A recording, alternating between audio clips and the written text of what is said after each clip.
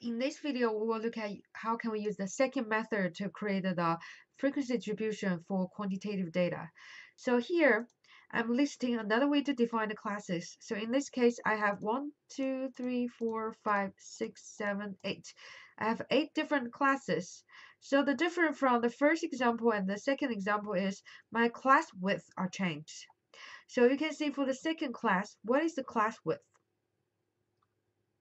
Yes, the class width is 0.5. So the best way to calculate the class width is trying to look at the upper limits of each class and then try to find the difference between the, the two classes upper limits. So for instance, the second class upper, upper limits is 1 and the third class, the class upper limit is 1.5. So 1.5 minus 1 equal to 0.5. So we know the class width is equal to 0.5. So why we need this information? Because we will use this information to help to guide us to use uh, guide us to finish the frequency distribution using the second method.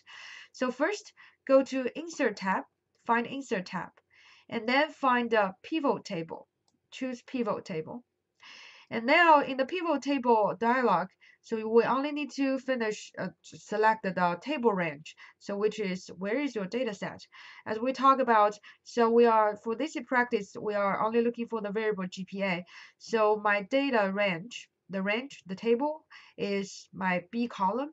So uh, select this little icon and select from B1 to B121 and then click this little icon and then click OK.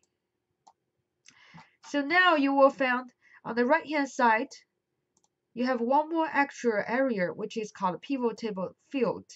And on the top area, there is one uh, item you're familiar, which is GPA. So that is exactly what we just selected. That's my variables. So what you're going to do is first uh, uh, select the GPA and then drag it down to the rows. So drag it down to the rows. So then you will see the instant change on your left hand side, which is the row labels. So they change into the observations values 0.5, 1.486.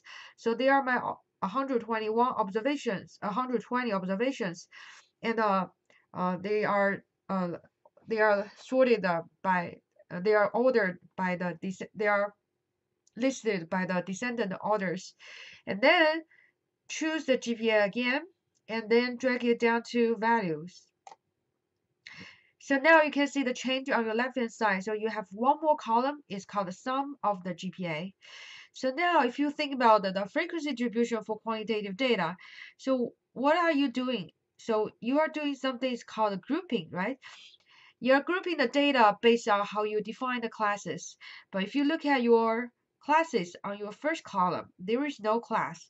So everything, every observation is considered as one class. So that's not what we're looking for. So in order to create the class like 0 to 0.5, 0.5, or 1 to 1, and we need to group in my labels. So choose one of the value on your first column under the row labels, any values. So let's choose 1.486 and the right click the mouse, right click the mouse and then you will find one option called group. So choose group. So now you have this dialog. So I will explain what they are. So the starting value is the lower limit of your first class. So lower limit of your first class. So if you look at here, so the lower limit actually is zero. So let's see, it's zero. And ending at, so this is your upper limit of your last class. So the upper limit of your last class, which is 4. So we don't need to change it. This is 4. And the by, the by actually stands for your class width. So class width. So in this practice, we choose the class width equal to 0.5. So then you change 1 to 0.5. And then you can click OK. So now you can see the first column changed. So you can see this is what we are looking for. So since we don't have observation from 0 to 0.5, so that's why uh, when you uh, design this table, there is nothing show up in the first class. But starting from the second class, 0.5 to 1, 1 to 1.5, 1.5 to 2. So that's exactly what we are looking for here. So now look at the second column. You will find there are some mistakes. So they are not my frequency, right? The frequency has to be integer. And also we know we have total 120 observations, but here the total observation is 368.886. So that's not my uh, observations. So what happened? So we need to do a little bit of adjustment before we can see this is a frequency distribution.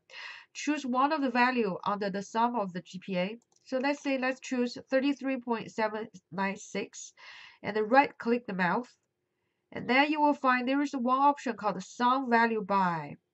So now you should understand why we got 368.388 because the values represent the sum of your observations. We don't want that. What we need is count. So we choose count.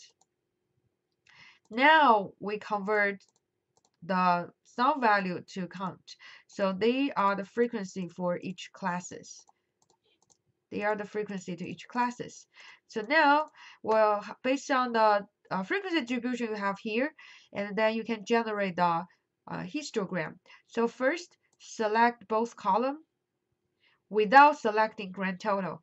So the grand total doesn't tell us anything about each class. So they just tell us how many observation we have totally.